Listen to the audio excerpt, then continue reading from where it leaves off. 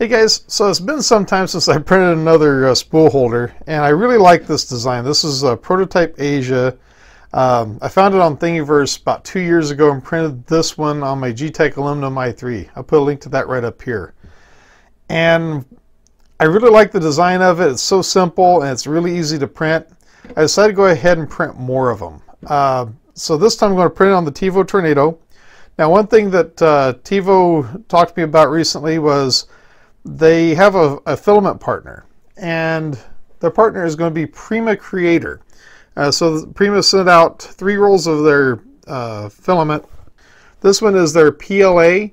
Uh, this is a gold color. In fact, let me just go ahead and open it on up for you. Find something here to open it with. So this one is going to be a gold PLA. Now, the original one that I opened uh, a while back when I very first started printing with some of their printers turned out to be a PETG. And I didn't have a whole lot of luck on it, but I didn't realize at the time it was PETG and I had the wrong settings. So that was a lot of it. So it's going to be interesting to see how this prints.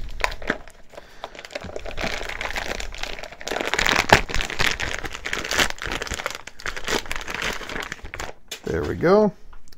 It's a nice gold color. So it's going to be interesting to see how that prints on this printer. So I'll uh, do some uh, temperature uh, testing really quick to find out what the perfect temperature is. I'll go ahead and start the print and I'll see you guys at the end of the time lapse.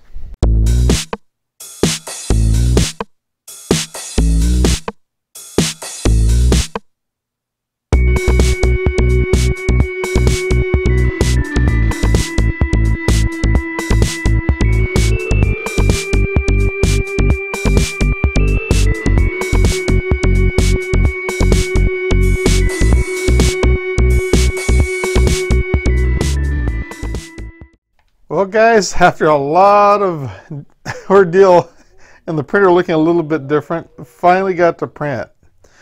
Uh, this, once again, is the Prima Creator 3D print, uh, filament in the gold. Uh, I don't know what to say about this design on it. It's, it's something not quite right, either in the settings or something. I, I don't know what to think about it at the moment. I think it might be the salmon skin that I've heard that uh, the Tevo uh, tornadoes are, are kind of notorious for because of the drivers, which means I'm definitely going to be looking into a, a upgrade. Um, did have a lot of ordeal when it came to failures. And where did that screw come from? Yeah, uh, there's there's been some uh, some issues come up recently. oh goodness! But uh, I'll put a link to my the video that where I took the the the PEI material off of here. I'll put a link to it right up there. And uh, I, I, had to do some work on it. I, I was forced into it. I had some bubbling and stuff. Had too many failures over the over the last few prints I did, so I had to do something. End up taking that off, and, and as you could tell, it printed just fine.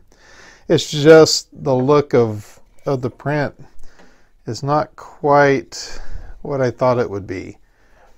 Now that I think I I think by upgrading the drivers will help that quite a bit, but we will see. Anyway, this is the spool holder. There's the. I turn that around. I got to take the flash off of that part. Anyway, I had to take in on the the way the PEI was reacting uh, with the bubbles and everything that was underneath it.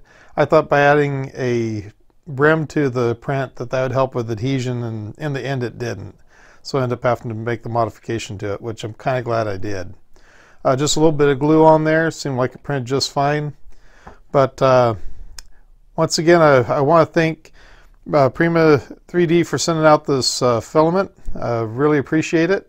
Uh, once again, special thanks to both Tevo and to GearBest for sending out the printer. Uh, I do definitely see a lot of upgrades coming in the future. I'm once again, I'm not a real huge fan of the look of this, so I think I'm going to go ahead and, and save up my money and try doing a driver upgrade on it. I think that'll make a huge difference. Anyway, guys, thank you so much for watching, and I'll catch you in the next one.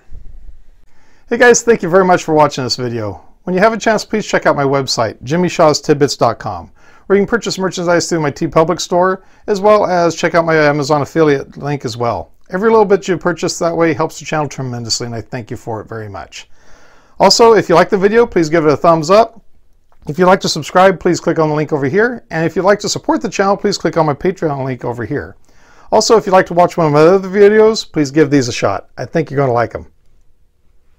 Oh yeah, you're going to like them, especially that one over there. Have a great day. Take care. Bye.